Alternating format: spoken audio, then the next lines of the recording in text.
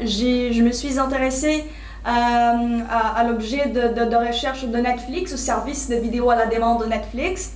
Et aujourd'hui, je vais vous présenter comment euh, le site web de Netflix, au moins la version canadienne de ce site web-là, il collabore, il contribue à une sorte de logique prescriptive euh, mise en place par Netflix. Et cette recherche, elle a été dirigée par Florence Millerin et par Alexandre Coutin. Ok, parfait. Alors, vous voyez ici notre plan de match, le plan de cette présentation, introduction, problématique, cadre théorique, début méthodologique, parce, parce qu'on utilise vraiment cette expression au Québec, euh, je me suis dit, il faut absolument que j'utilise ça. Oui. euh, plan de match, début méthodologique, euh, résultat et la conclusion. Alors, Netflix, comme vous savez, j'imagine que tout le monde ici connaît un peu Netflix, c'est un service de TVN streaming où on peut créer un plan d'abonnement et on peut écouter de séries télé, de films euh, de façon illimitée sur cette plateforme-là. Et aujourd'hui, Netflix compte de 109 millions d'utilisateurs dans plus de 190 pays dans le monde.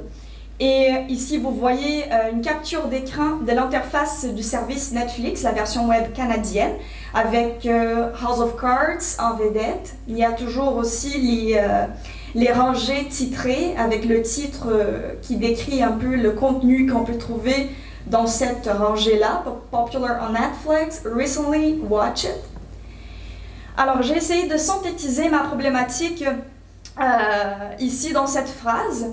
Euh, pour être vraiment euh, bref euh, dans, ma présentation, la prescription ou la configuration des usages par le service des vidéos à la demande Netflix est associée à l'exploitation et au traitement des données des usagers effectué par son système de recommandation. Vous voyez ici que je me suis intéressée plus particulièrement au traitement des données, au système de, de, de, recommandation de Netflix, mais ici vous, allez voir aussi que je reprends euh, le système de recommandation dans ma question générale, comment le modèle de fonctionnement du service de vidéo à la demande de Netflix euh, basé sur le système de recommandation Cinematch, parce qu'à l'époque, euh, il y avait un nom pour le système de recommandation, il s'appelait Cinematch. comment ce modèle-là configure-t-il les, usages sur la plateforme? Mais j'avais quelques intuitions au début de ma recherche, bien au départ, et euh, je voyais que peut-être euh, le site web, il jouait, il collaborait à cette logique euh, prescriptive de Netflix, à cette configuration des usages, parce que dans, ma revue de, de, littérature, quand je commençais à faire des recherches sur le sujet, sur le sujet je voyais que il y avait une sorte de, de un mode d'usage particulier dans le cas de Netflix et on voyait ça dans le phénomène qui on associe souvent à la montée des services de visionnement en ligne, c'est le phénomène du binge watching ou l'écoute en rafale. Alors euh, ici, vous voyez ma question spécifique.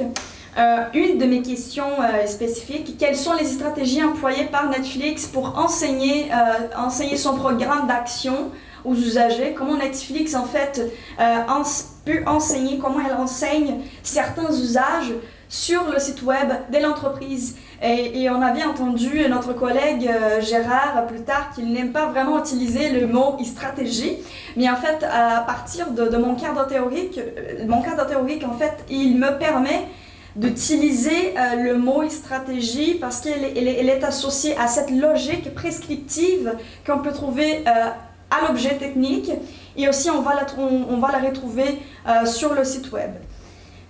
Cadre conceptuel, j'ai utilisé les théories de la conception, euh, les software studies et les algorithm studies. Euh, des théories de la conception, j'ai utilisé la théorie de l'acteur réseau de Madeleine Akrich. Et selon cette théorie-là, euh, l'objet technique, il est construit par un réseau d'acteurs, alors par les concepteurs et aussi par les usagers, et par l'environnement. Alors, lorsqu'un concepteur il, crée un objet technique, euh, il imagine, il projette une image de, l'usager, de la personne qui va euh, manipuler son objet technique. C'est pour ça qu'on voit ici le concept, la notion d'usager virtuel ou usager imaginé. C'est vraiment cette représentation de l'usager qui, est, qui est présente lors de la conception d'un objet technique. Et on voit aussi la prescription des usages dans, dans cette période dans ces processus euh, de, conception, parce que le concepteur, en même temps qu'il pense qu'il crée une image pour euh, son usager, euh, il pense aussi, il définit un cadre précis d'usage qui seront faits de, de, son objet technique. C'est pour ça que j'utilise ce concept-là dans, dans mes questions, dans ma problématique, parce qu'il est présent, il est présent dans mon cadre théorique. Et ces informations ici, les informations concernant la prescription des usages euh, et la représentation de l'usager, l'usager virtuel, euh, ces informations, elles sont insérées dans une sorte de scénario, dans une sorte de script qui est présent dans les entités techniques qui composent euh, l'objet. Alors, et ces entités techniques porteuses d'un scénario, d'un script, elles sont appelées actants selon les théories de, la conception. Ici, on voit en bas les actants que j'ai analysés. Euh, en fait, j'ai analysé les scripts, les scénarios des actants dans le cadre de ma recherche. Et j'utilise aussi euh, le concept de Configured User de Wugar parce que c'est un concept qui rassemble bien euh, les, notions de représentation de, de l'usager et aussi les usages prescrits. Alors, dans ma recherche, je voulais bien comprendre les affordances, les relations qui se développent dans, euh, dans le cas de Netflix. Alors, les relations entre les concepteurs, les usagers et aussi l'objet technique lui-même. Et dans le cadre de ma recherche, j'ai analysé le site web de Netflix, le système de recommandation et aussi l'interface du service. Alors, je voulais bien comprendre euh, ces communications-là parce que les affordances, elles se font euh, via une médiation symbolique et physique euh, effectuée par les scripts des acteurs.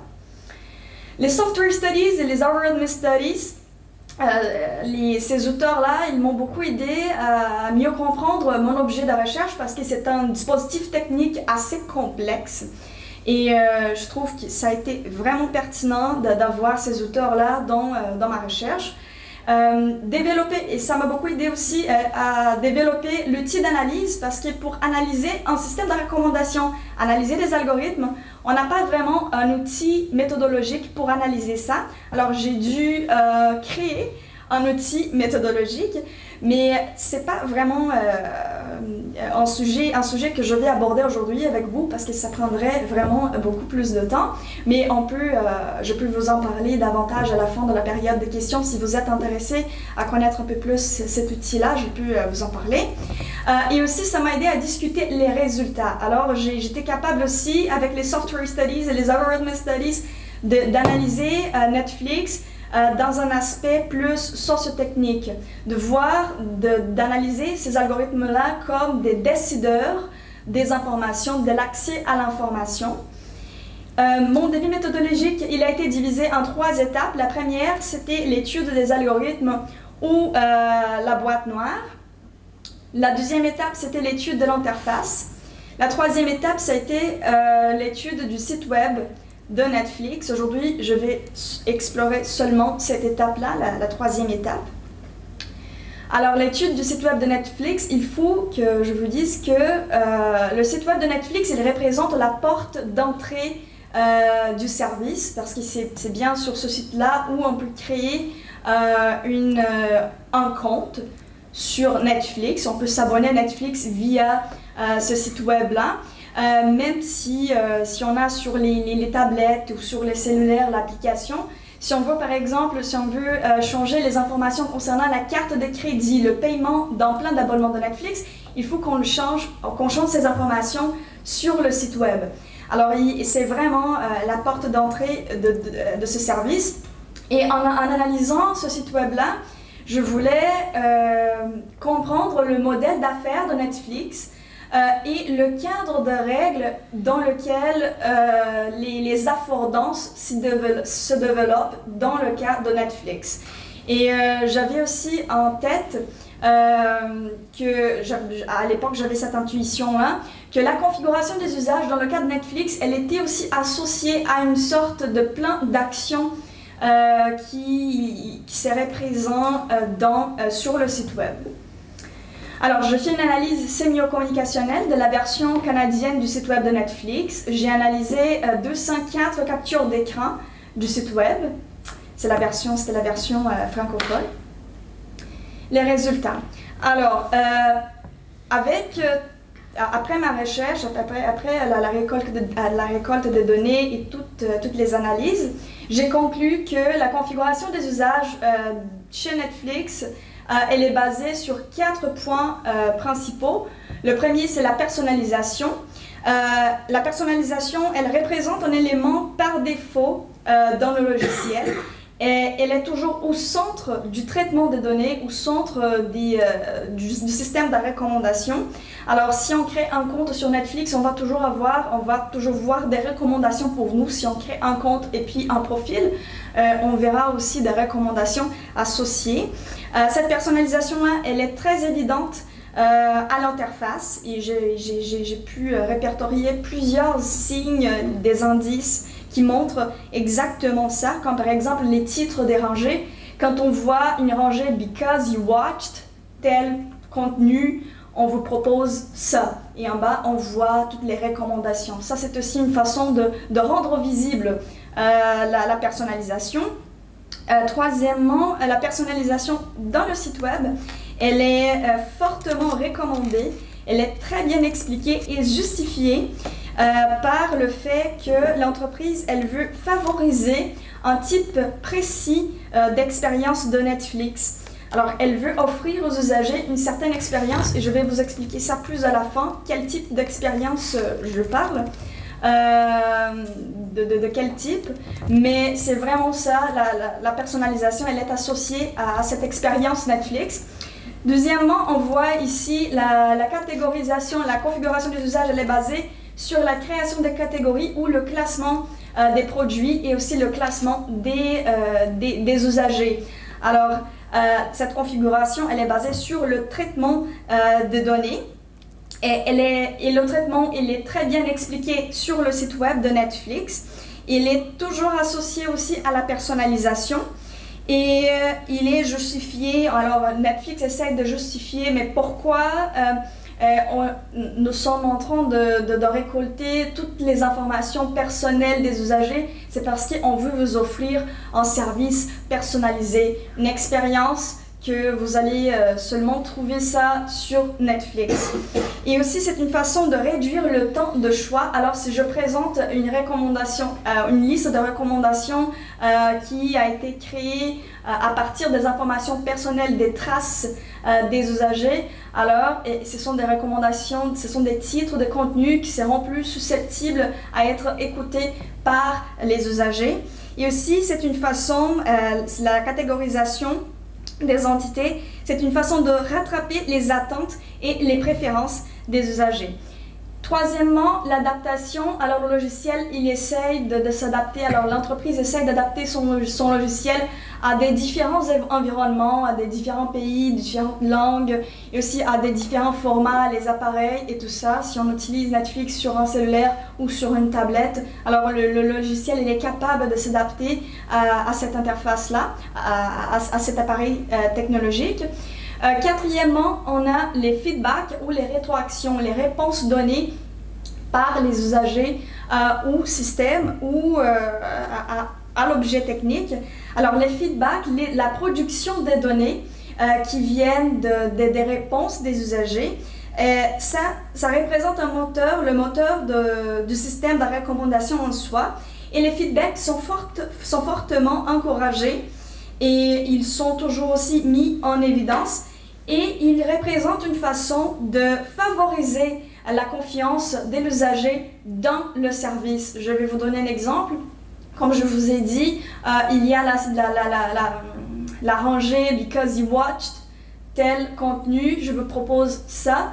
Alors pour Netflix, c'est une façon de créer des liens de confiance. Alors je vous explique, je vous dis la vérité. Alors on prend vraiment vos données personnelles mais c'est pour vous offrir le meilleur contenu.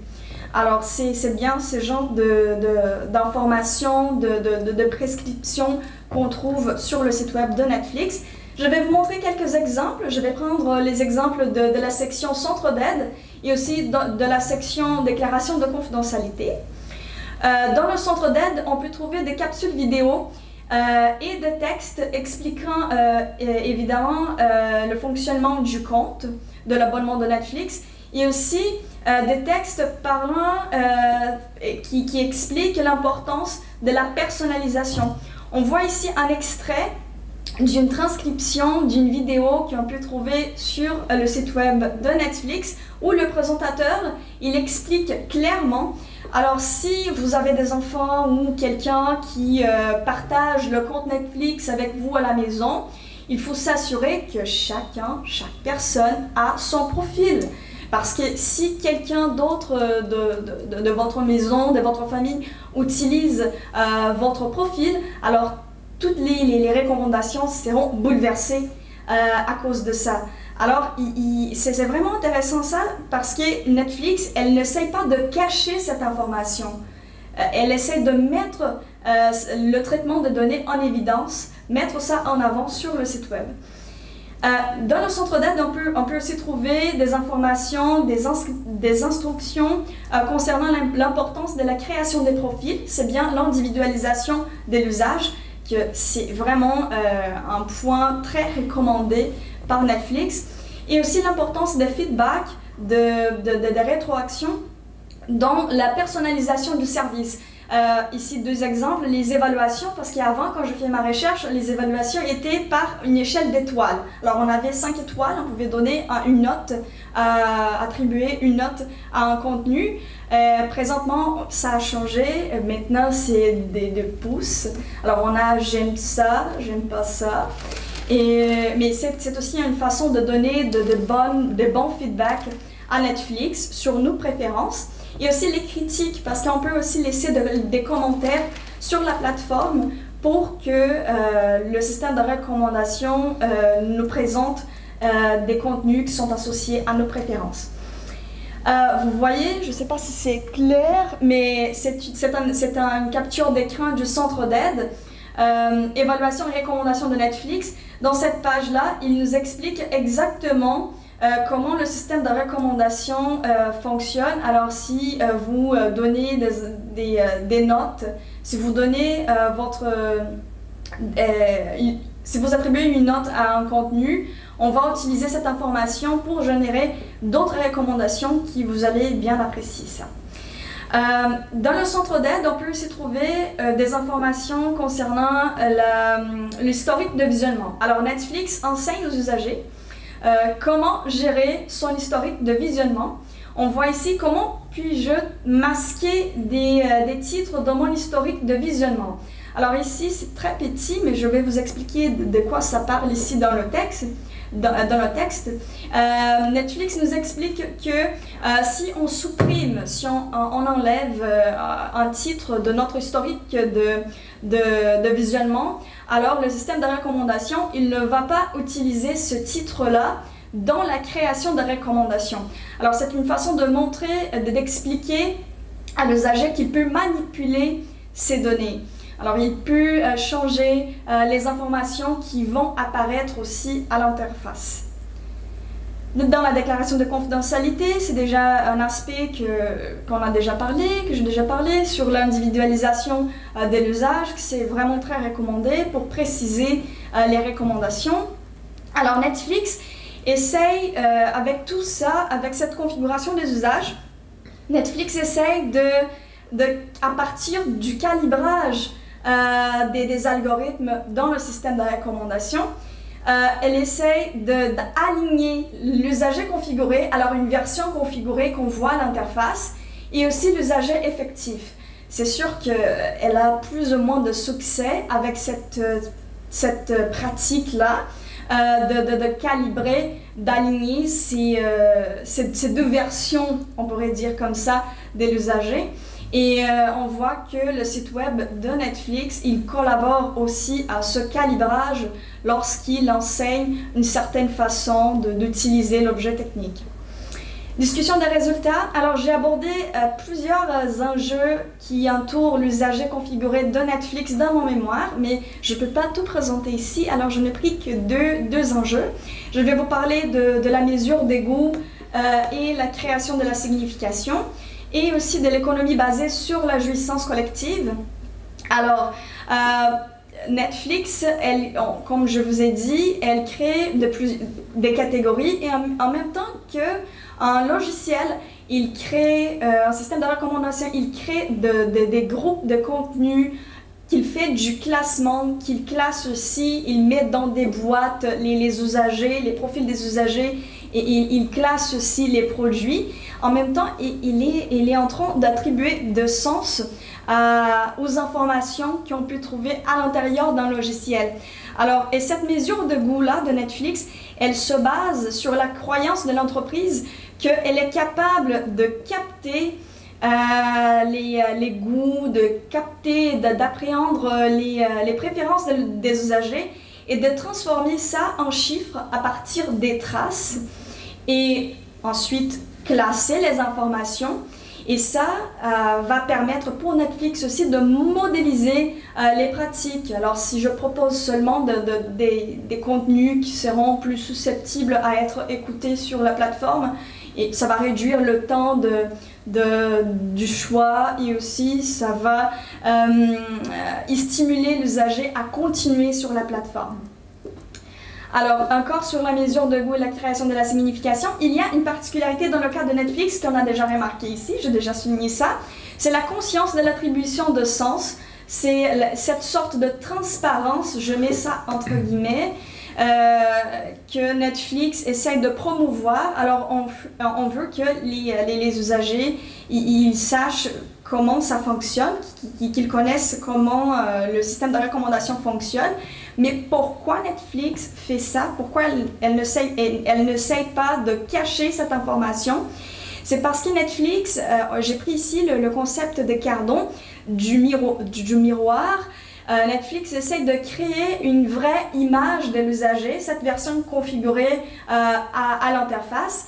Et en même temps qu'elle crée, qu'elle essaye de créer cette image, elle tente de faire reconnaître l'usager à l'interface. Ça, me rappelle aussi la série télé euh, Black Mirror, parce qu'on voit que sur notre cellulaire, il y a vraiment un miroir noir. Et c'est exactement le même concept qu'ils utilisent. Euh, c'est cette même notion. Alors, cette image qu'on voit à l'écran, elle peut être bouleversée par le feedback, par la rentrée de, de nouvelles données. Ok, et aussi euh, il y a une sorte, de, une sorte de justification de la catégorisation des entités. Alors en même temps, lorsqu'on parle, oui, on est en train de traiter les données, on fait des recommandations. Euh, quand on, Netflix essaye de justifier ça euh, comme une façon, une tentative de renforcer les liens du réseau d'acteurs. Et en même temps aussi, elle met en lumière les affordances et elle favorise, elle encourage la production de feedback, de, feedback et la production des données. Parce que si on, rentre de, des, euh, des, informations concernant les, notes, si on attribue des notes, si on euh, met des commentaires, si on, écoute par exemple plusieurs épisodes d'une série l'un après l'autre, c'est aussi une façon de donner de feedback à Netflix. Et les, euh, les enjeux de, de l'économie de la jouissance, ça c'est vraiment associé à, à, cette idée de mesure de, de goût. Mais euh, dans le cas de Netflix, euh, l'entreprise, elle veut que l'expérience d'écouter euh, les films, d'écouter les séries sur la plateforme, elle veut que cette expérience soit chaque jour plus amusante. Alors, on voit que pour, pour Netflix, cette expérience-là, elle est directement proportionnelle, proportionnelle au grand volume de feedback de données qui sont rentrés dans le système. Alors, Netflix essaye avec toute la configuration, avec son système de recommandation et toutes les, euh, euh, les choses qu'on peut voir, euh, les, les, signes et aussi tout ce qu'on voit à l'interface et aussi avec les informations qu'on peut, trouver sur le site web. elle essaye de prolonger l'expérience jouissive d'écouter les, les, contenus sur la plateforme avec la personnalisation et aussi avec la, la conscience de la recommandation Et chez Netflix, il y a un mode particulier de divertissement. Euh, ici, j'ai mis, euh, j'ai l'habitude de dire que c'est bien la, jouissance en rafale. Alors, on veut toujours être connecté, on veut, veut pas s'arrêter euh, dans un épisode, on va écouter 3, 4, 5 épisodes sur Netflix. Et les marathons de visionnement représentent pour Netflix un long moment d'expérimentation du, du, plaisir et aussi euh, les, marathons représentent euh, le moteur de la production de données pour le logiciel. Alors pour la conclusion, pour euh, finir ici. Alors le site web de Netflix, euh, il, a beaucoup, euh, alors l'analyse que j'ai fait de, ce site web-là, ça m'a beaucoup aidé à comprendre cette logique prescriptive de Netflix, de, promouvoir cette expérience chaque jour plus amusante, plus jouissive. Et, je pense que pour les dispositifs techniques euh, euh, très complexes, les environnements euh, numériques, environnements numériques très complexes aussi, il faut qu'on regarde ces pratiques des, entreprises pour qu'on ait cette notion de quels sont les objectifs de cette entreprise-là avec cet objet technique. Et ça nous permet aussi de, de, de, comprendre tout ce qui se passe derrière, même si, même si on n'a pas toutes les, toutes les informations concernant euh, le dispositif technique, parce qu'il y a aussi les secrets euh, euh, de, de l'industrie. On ne veut pas tout publier sur Internet, c'est clair, mais ça nous donne vraiment une idée de, de, tout ce qu'on peut trouver à l'intérieur d'un logiciel. Alors, le site web de Netflix, dans ce cas-ci, dans le cas de Netflix, il sert à orienter euh, les usages. Il, sert aussi à justifier, à justifier la logique prescriptive mise en place par Netflix. On voit ça dans l'individualisation de l'usage et aussi dans la justification de la récolte et du traitement de données euh, et aussi dans la personnalisation du service et on voit que Netflix essaye de faire tout ça, de justifier, d'expliquer, de proposer des recommandations pour euh, toujours offrir euh, aux usagers cette amazing experience of Netflix.